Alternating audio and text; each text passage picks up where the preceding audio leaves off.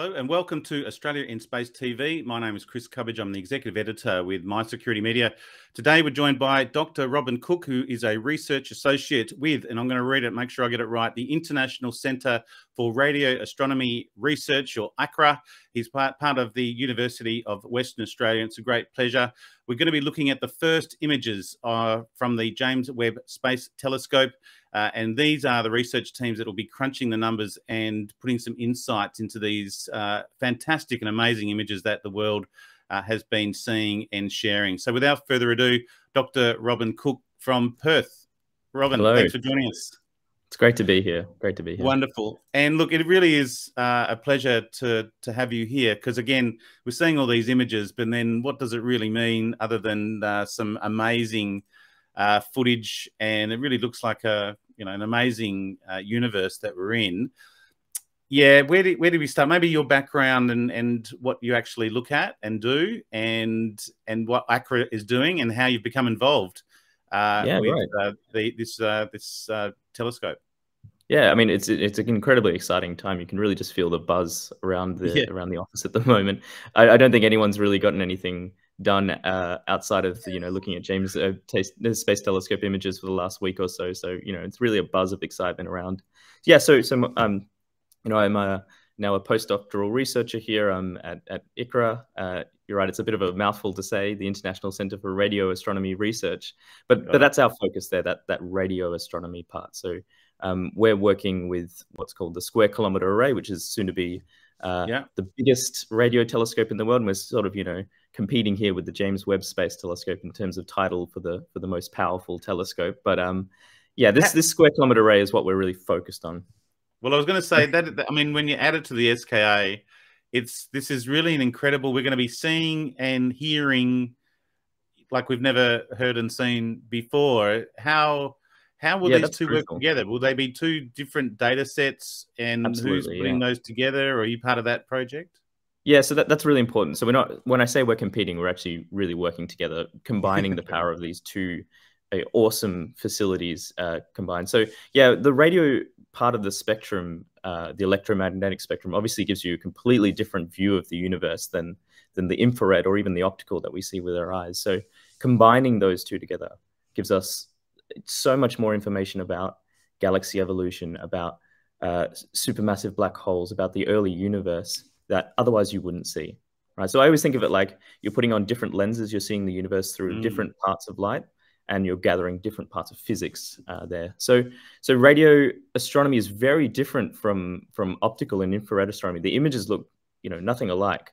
Um, what you're really focusing on is the really high energy stuff. So in in radio astronomy, so that's like your supermassive black holes creating outflows, you know, supernova, exploding stars, those kind of things. That's what the radio really uh, hones in on.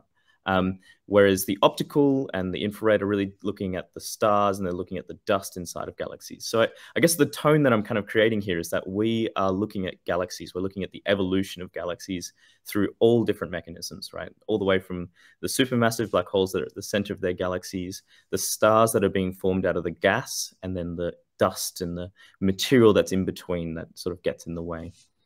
And it's almost like information overload a little bit. How where are you thinking of starting? And you know, you look like a young fella, so you know you've got your whole career basically this type of research. It's not going to stop. And I suppose another point is how much new research is going to come out of this. Is you know in terms of even understanding who we are and and the universe that we're in.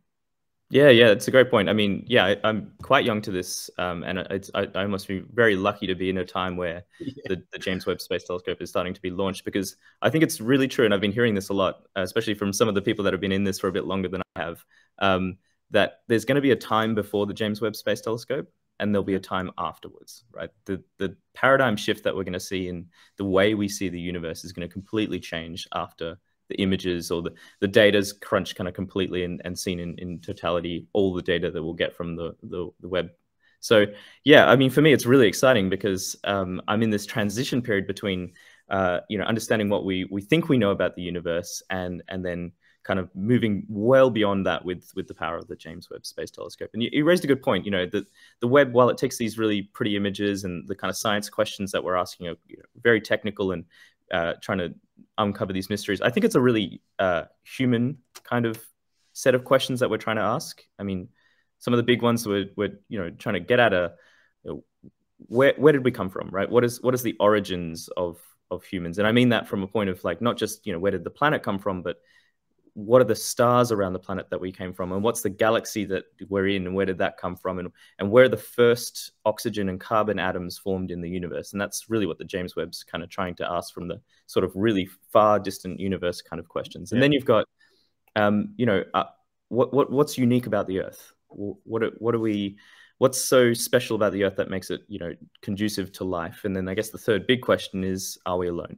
Right? And th- these are some of the questions that james webb is trying to answer it, it looks like, uh, and I'll bring up the image uh, that mm. we're going to talk about. When we look at the amount uh, of, and these images, and I'll just keep that up there, that won't interrupt it. So that's where we're getting this in particular image. And this is part of the research that you're going to be looking at is this particular image. And I'm looking, I've been thinking about comparisons, and it's almost like cells in a in a blood flow you know, in terms of the the density and and the like of galaxies, and hence we're the only living. You know, uh, it's been thought that we might be the only sort of uh, intelligent life being in the Milky Way. So our own galaxy, there's one intelligent life. But if every galaxy, if that's the purpose of a galaxy, is to create life, then you know it's a pretty incredible universe, and it's almost unlikely that there's not other intelligent life, or there won't be. You know, civilizations come and go. Uh, it's a matter of time. So, mm. what, you, what, what what does this type of image tell you? And it's much much better than the, say the Hubble uh, telescope and what we've been seeing previously. But we kind of get a sense that there's you know many trillions of universes. What does this tell you initially when you first saw it? Is, did it tell you anything, anything new uh, yeah. straight away? Yeah, I mean, I mean, it's, it's incredible to look at, and and I highly recommend anyone to just sort of click on the the website there and actually search it for it themselves. You don't really get the justice yeah. unless you start sort of diving in, zooming in, because it's just the scale of this thing is is incredible. Um, it, it's, I mean, it's complete. It's really striking to me. You know, you, just how much detail comes out, especially comparing to some of these older images. Um, you can, you know, see a few blobs for maybe some of the the more massive galaxies, and then of course, moving over to Hubble, you get some more detail, but you're seeing a different kind of the electromagnetic spectrum. And, and Hubble itself was not as powerful a telescope. So you're certainly not seeing as deep and, and not as much not, not as much detail. Um, there's so much to say about this, an image like this, right? And and maybe I'll I'll say as well that this is sort of just, I mean, it's a targeted observation, but at the end of the day, this is just a random piece of the universe. Right? Yeah. another thing. This is the one. This is nothing special, this, this really. Is, yeah, this was the one that was described as a single grain of sand on the tip of your finger at an arm's length. So that's right. Uh, uh, of the sky. Hence why you know the density there and the, and the diversity is another thing that strikes me in this. Yeah, yeah. You're seeing so many different uh, levels of the of the you know distances to the universe. So I mean, the first thing to point out in these images are these sort of very bright hexagonal spiked uh, objects, and and these are just stars, right? These are just stars in our own sort of Milky Way galaxy. These are ones that are nearby right. to us. And I always think about this like we're trying to study uh, cities, right? We know that galaxies form in groups, in, in clusters. And in this case, we're looking at a galaxy cluster. And we think of them like cities, right? They arrange themselves in, in towns and cities and villages. And we're sort of sitting in our own Milky Way galaxy, which is a city of its own. And these stars are like the individual people sort of getting in the way of our, you know, almost photobombing our images, our beautiful shots right. of like Melbourne City over across the continent. And so, so what you can see are these sort of really bright, hazy, uh, massive galaxies. And this is a nearby uh, group of galaxies. But you might kind of notice around there's there's these handful of very red, uh, almost distorted looking uh, galaxies, and yep. this is not sort of in the same plane as say in the, not in the same city as these uh, larger galaxy group ones. These are actually well behind this group. They're, they're in the distant universe. And what's really kind of mind bending about this image is that those those galaxies are sort of being distorted and warped around the galaxy cluster. The way I like is to think it bending light? Is that what it's yeah, doing? It's, bending, light like a magnifying glass. Yeah. Right. So magnifying is it, glass. Is it because of the way we're seeing it, or is the light itself? But must must be if if we're it's the light itself. It yeah, it's the light yeah, itself being affected. This is not a, a, a, an optical illusion. I mean, it, in yeah, some ways, well, it is. Not a lens issue. Really physically happening right? Yeah, this right. is a this is gravity itself, like the mass from this galaxy cluster is distorting space itself. It's creating sort of a ripple or a, a, a depression in in space time. Um, and and the light has to follow space, right? Light follows straight lines, and in and, an, and a straight line in a curved space is is bent to us. And Yeah. so what's happening is these things, whilst they're behind the galaxy group, are, are being bent around, and they're sort of coming from the edges of the galaxy group, and you're seeing them Have in we this ever seen it ways. so close? I mean, this I think this is the Einstein's theory as well, the blanket sort Yeah, of approach. But exactly. yeah, and we have seen it before. Have we ever seen it so strikingly?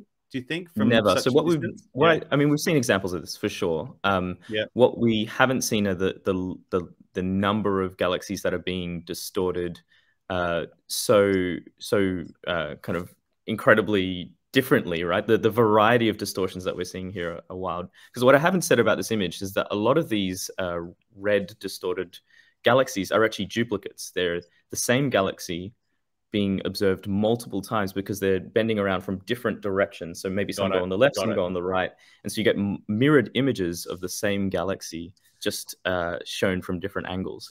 Got it. We've never seen that variety of that. Um, and the the colours, I suppose, is is indicative of distance. Uh, In some so ways, the yes. orange, the whites, the yellows. Yeah, in some ways. So that's it's a it's a combination of things. I mean, fundamentally, the color of a galaxy, or actually more truly, the color of stars, has a lot to do with the age of that star. So young stars typically are blue. They're massive and they're they're really hot and energetic. They're burning a lot of their fuel. Older stars that are kind of reaching the end of their their lifetimes, they're typically red. They've puffed out. They've cooled down relatively. Uh, and and they appear red. So now a galaxy that's filled with red stars is what we would typically call an evolved galaxy, one that hasn't had any recent star formation. But kind of underpinning all of this is this idea of redshift, and and this is a really crucial part about uh, this image and about uh, astronomy in general. It's this idea of redshift, where um, things are sort of being stretched out. The wavelengths of light here that uh, that we would otherwise see are being stretched to more red colors. And I, I always think about this like an ambulance going by, right? When when an ambulance goes by, it's sort of really high pitched to begin with, and as it passes, it sort of drops in frequency, or I should say, it, its wavelengths get stretched out and its sound gets lower. The same thing is happening with light, right? So things that are traveling away from you have their light being stretched out, and that's really crucial because the the infrared spectrum uh, we're not looking at the infrared light of these galaxies. We're actually looking at their their optical light, but it's been stretched so far into the red that we're now seeing it as infrared light. And this is why the James Webb Space Telescope is so powerful because it can look at things that are really far in the universe, moving really fast away from us, i.e., being stretched out, uh, Yeah. and observe them in those infrared wavelengths. Because we'll be able to te- detect speed and and mass and a whole range of different things. This and maybe just to clarify, this is an optical image. This is what it is actually seeing. It's not any type of light. This is optical. No, this, so this is actually infrared. This is this is Ah, infrared. okay, This is got it, like the okay. crucial advancement of the James Webb Space Telescope. Got is that now we're going from the optical, what our eyes see, to moving into the uh, to the infrared wavelength. So some of the galaxies you'll see, especially the nearby ones, that'll be like, and and you know some of these other images that we show from the James Webb Space Telescope, those are like what the infrared looks like for these these galaxies. That's that's like seeing these galaxies through the infrared. The crucial part about this get this this image is that this is so distant, so far away that the light itself has shifted. Right, it's been it's been stretched out to the point where it's in the infrared. So it's it's almost like we we're seeing the optical light, but it, it, it as it shows itself in the infrared. That's the that's Well, the important how- part. Is it still possible to detect its its distance and the like? Is it going to be more difficult to do that because you don't know how stretched it is? Exactly. This is the really tough part about this. So typically with with distances, we we have a good sense of the the sort of expected brightness of a galaxy based on some other properties. And so if we know how bright we expect it to be and how bright it actually is, you get a sense of the distance. The Yeah. really crazy part about gravitational lensing and, and that this is this effect where you have galaxies sort of being bent around uh, objects of mass is that not only does it stretch the light in certain ways, it also amplifies the brightness. And in fact, that's the really cool part about this is that these galaxies, if there wasn't an intervening lens, it's almost acting like a telephoto lens right on a camera. If that galaxy group wasn't there, none of these galaxies would be visible, or very few of them, because their light is being boosted by that that gravitational lens, Wow, okay. amplification. So it gives us a way to see even further into the universe um, than otherwise would be possible. The real trick, of course, is then you have to take that distorted image of a galaxy, undistort it, right? And the only way to do that is to know a lot about the lens itself, know a lot about yeah. the galaxy group in the in the intervening uh, part, and and and sort of recreate what that galaxy would otherwise look like. Um, and then you can start thinking about distances. You can think about properties like mass and and, and shape and structure. One other thing is with the way that the SKA and James Webb, uh, Webb will be sort of coordinating, is it something that say the SKA would point at this same zone and see what sort of we might detect out of that, or will it be doing yeah. its own body? Yeah, I mean, it, it, will do its own thing. I mean, it's because it does look through a different sort of spectrum of light. Maybe I can tell you what I think would happen if you did point the square kilometer array. Yeah, okay, good. Um, so so you've got this intervening group of galaxies here, and and you can kind of pick out this haze of light that's going around. And this is these are this is debris. This is this is stars that have been shredded off the galaxies or somehow uh, uh, uh, ejected from the galaxies themselves. And and that's really important. We want to know why or how stars can be stripped away from galaxies. And one of the kind of ideas that you that we might have is that at the center of every galaxy is a supermassive black hole, and the sort of energy, the outflows that get emitted from these supermassive black holes are scales of, of you know, many times the galaxy itself. So they're really shooting out high energy uh, uh, particles, and and that's of course going to have a huge effect on the galaxy itself. It's going to you know, send out shock waves through the galaxy and, yeah. and, emit stars. And so what you would see in the in the in the optical, oh, sorry, in the radio, are these massive jets, these outflows from supermassive black holes. Definitely one from the center, one there. Probably few from other galaxies around, and you'd see the way those those um, filaments or those uh, outflows would be ripping up uh, the gas around them. And, and you'll see that in incredible detail uh, with, with the square kilometer array. So you can kind of see that you're not really probing the same uh, objects, or at least you, you're not looking at the same uh, parts of the galaxy there. There'd be a completely different view of this, this image. And what specific piece of research are you working on? Yeah, so we, we're, we're really interested in, in how you get from galaxies that look like this here in the distant universe to how you get galaxies that look like our own galaxy. And so there's, you know, I can't even count the number of things that could possibly happen to a galaxy to make it look uh, slightly different. You've got galaxies that merge with one another. You've got, you know, these supermassive black holes. You've got uh, bursts of star formation. There's so much that happens inside of galaxies, and we're trying to recreate that um, step by step throughout the universe. So going from the very early universe where things were very chaotic and very energetic, how do you get to the the galaxies that we look at in the nearby universe. And there's a few examples of nearby galaxies in, in this image here. They look, some of them look like sort of spirally, uh, maybe uh, more grand design type of uh, spiral galaxies. Um, and, and so we're trying to understand the processes involved in, in getting from there to there. Now, of course, the, the trick with astronomy, or maybe the, the, the catch is that when we take an image of a galaxy, that's a still frame, right? That's a snapshot in time. You know, we can't possibly uh, we don't live for long enough to see anything evolve, right? So we we we have this yeah. problem of only seeing snapshots in time. So we're really trying to take uh, snapshots at different points in the universe, distances, but also you know points yeah. in time, uh, in order to get a sense, a build up of the storyline of the universe, going from the oldest galaxies to to the ones we see today. Was there any any galaxies that are looking like the Milky Way? How unique do you think the Milky Way is, or have you seen observations of the Milky Way looking galaxies before? You raise a really interesting point, um, and one that I can't comment on because I'm not a, a, a galactic astronomer. I'm an extragalactic astronomer, and what that means is I look at galaxies other than our own Milky Way, and it, and it's and it comes back to this point of looking at cities, right? When when I say we're trying to observe other cities, yeah. it's like me uh, trying to tell you what Perth City looked like by being at the very center of Perth City, right? We don't actually have a good sense of what our own Milky Way looks like right. as an image because yeah. we're we're sitting inside of it. I can tell you a lot about what Melbourne looks like from afar, but I, I couldn't tell you yeah. what, what, Perth looks like.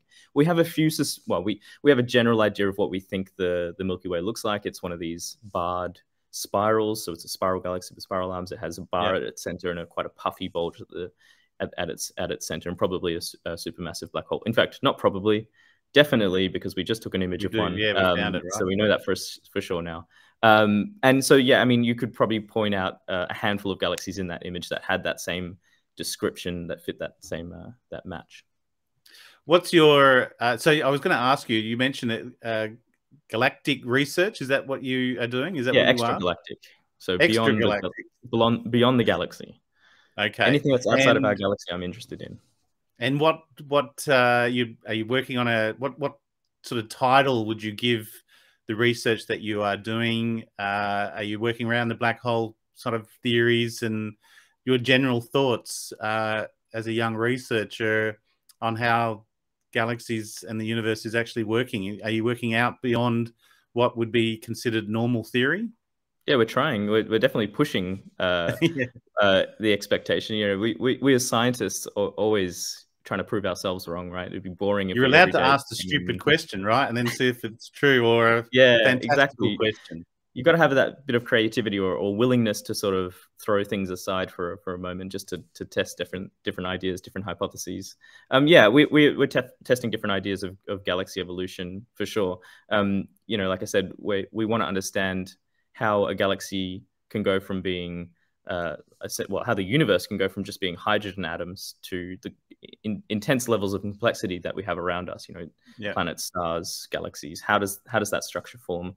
and you know there's there's so much that goes into that and and every each one of us is of course working on a you know small facet of of of galaxy evolution which is itself a you know really big research field and that's the field i would call a galaxy evolution um, and so i guess my my uh, bread and butter is is the shapes of galaxies and so uh, you know galaxies have this wide complexity of the way they look you know they can either be these spiral galaxies with with with arms and and and tidal tails uh, or they can be these large elliptical galaxies, so these sort of mosh pits of stars that have no defined structure. There's sort of just a puffy ball of, of stars. And so something has to happen between those uh, archetypes of galaxies to, you know, to explain those differences. And so we're really trying to understand how you go from those galaxies to these, these sort of uh, uh, elliptical uh, dead. We call them red and dead galaxies because essentially they've lost all their star formation. They're not forming yeah. any stars anymore.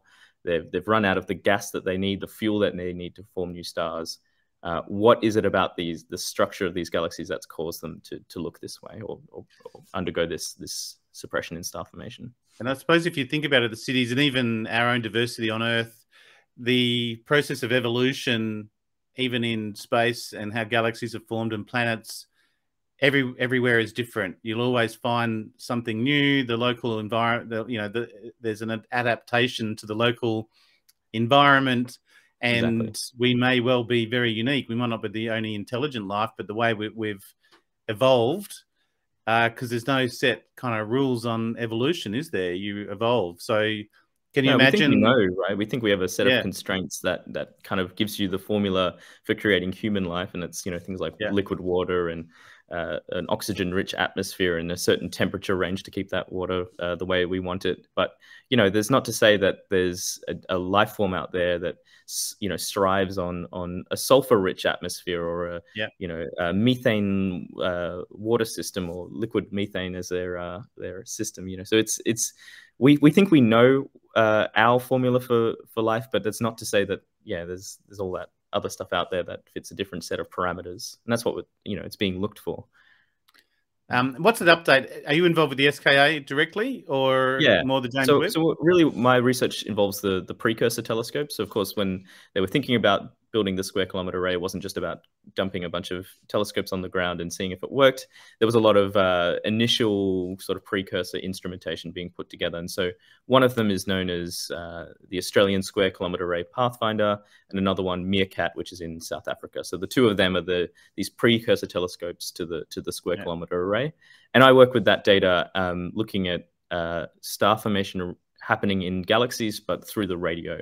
Um, so star formation uh, we really want to know about, right? Star formation is like the key to understanding the evolution of a galaxy. If it's not forming stars anymore, uh, it means it's dead. It's something's happened to it. What's happened to it?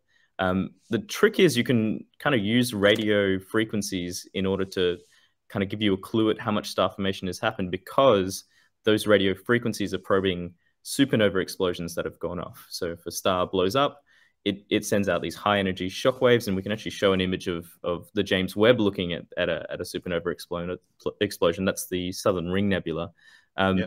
Those shock waves that you're seeing that uh, will also emit in the radio wavelengths. So you'll end up seeing what's called synchrotron radiation. Uh, and that only shows up in, in the radio. And we can use that to, to start to understand um, star formation and, and death in some ways. Will the structure of the image be the same?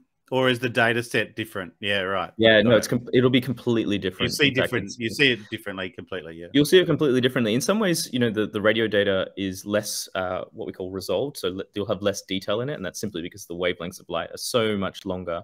To think about it, right? Um, James Webb is looking from uh, 0.6 microns to uh, uh 200 microns, or some sort of range in the in the mid infrared. Um, whereas the square kilometer array will be looking in the meter length, you know, things yeah, that are a meter yeah, long, right. centimeters long. So the difference in wavelength there tells you a lot. Uh, tells you a lot of different things, but the images themselves will look completely different for that reason as well. Very good. Um, where is the SKA at? Maybe just an update on where that is at.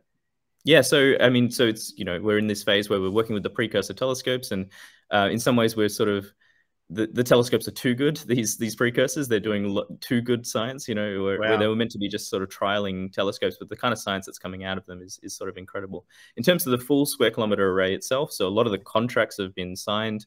Uh, you know, they were getting ready to start putting those dishes onto the ground, onto the desert in in here in Western Australia. There'll be these antennae, uh, and things are getting started. So in the next couple of years, we'll start to see uh, instrumentation being placed on the ground, which is a really exciting thing for a telescope to be, you know, and it, it, it, it suffers a similar story to the James Webb Space Telescope that sort of took, you know, 20 years or maybe yeah. even more to get from a thought to a to a real working instrument instrument. So in some ways, the square kilometer array has suffered suffered a lot of these yeah. these problems as well. And so I there's remember delays. Being talked about yeah. in the sort of before 2010 you know, exactly. 2005, yeah. 2006 was being discussed then. So, yeah, yeah. I was sort of promised as a, a, a fledgling astronomer that you know when I get into my my PhD, the square kilometer array will be up and running and and, yeah. and looking Still. at the universe. But you know, in some ways, it's not a bad thing. I, am kind of now working on on things, uh, the precursors, and it's sort of exciting yeah. to be in,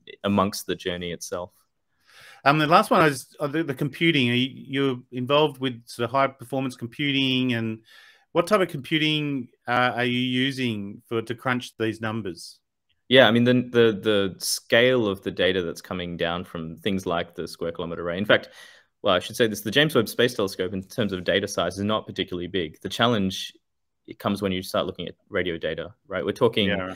you know, the size of the internet's worth of data being collected in you know just a week or two of observations with the square kilometer array these are kind of the scales that we're dealing with yeah. petabytes of data that need to be sort of uh, almost on the fly processed because you can't store that kind of data anywhere not you know reasonably uh, without being kind of exorbitantly expensive so you have to think about how am i going to take all this data at such a, a rapid rate compress it deal with it, analyze it, and just keep the stuff that I want and throw away everything else. And so a whole part of the of ICRAR here is is dealt with data intensive astronomy. So dealing with the the high performance computing side of things, dealing with um, the data storage, dealing with the the image processing, uh, and it, it's not a, it's not a solved problem. It's not something that yeah. we have the solution for. And and sort of part of uh, the square kilometer array was going under the assumption that by the time we'd built the telescope, those problems had been solved and you know they are being worked on and we've definitely made you know huge headway on on in terms of this processing but those problems are still around and there's still people you know for sure working on this to try to get solutions for when it does. And mm. where does this put perth on the map and sort of western australia globally in the sector? Because you're more on the research side versus the space industry side how much collaboration and co-research uh, is uh, your work involved with? Yeah, I mean, so ICRAR itself's only been around for um, 10, 11, 12 years or something like that. And I've only sort of been here for the latter six years. And so it's crazy to see how much of an evolution we've had going from uh, sort of a, a, small department of, of 10 people to now, you know, many hundreds of people across multiple yeah. nodes across Perth, and and and the international in in ICRAR is actually now true because we are collaborating, uh, you know, across every continent on the planet. Maybe not Antarctica, but um, for sure we, have got uh, collaboration happening at an international level. And and what it's done is brought a lot of interest into Perth. So Perth is becoming this hub for for astronomy and for space. And and so recently this this international space center has also come about which the idea there is to sort of bring together lots of different people working at different facets of of space. So we we just deal with you know images of galaxies and and looking at the universe. But there are people that are thinking about uh, growing plants in space. There are people thinking about you know policies and laws yeah. that are kind of govern uh, things around space and and and poetry in space and all these you know space related space adjacent themes and research fields and the international space center is really about putting all those things together so that's sort of one chapter of of where we think we see astronomy going forward and space moving forward in in, in australia well, you can go to our website. It's asitii.space, uh, A-S-I-T-I-I dot space. Uh, we've done, uh, done, a bunch of interviews uh, with UWA researchers and the like uh, late last year looking at that. So it's been a pleasure to be involved with UWA and just understanding the research that you're doing at the International Space Centre. Um, look, we could obviously look at many other images and talk about space forever. Um, but unfortunately, I think about half an hour is enough uh, to keep the audience interested and also wanting more. So, Dr. Robin Cook, Research Associate, I'll read it out the International Centre of Radio Astronomy Research, or ICRAR. Uh, thank you very much for joining us there from Perth. Appreciate it, you being on Australia Space TV. My pleasure. Thank you very much. Good on you, buddy. Cheers, mate.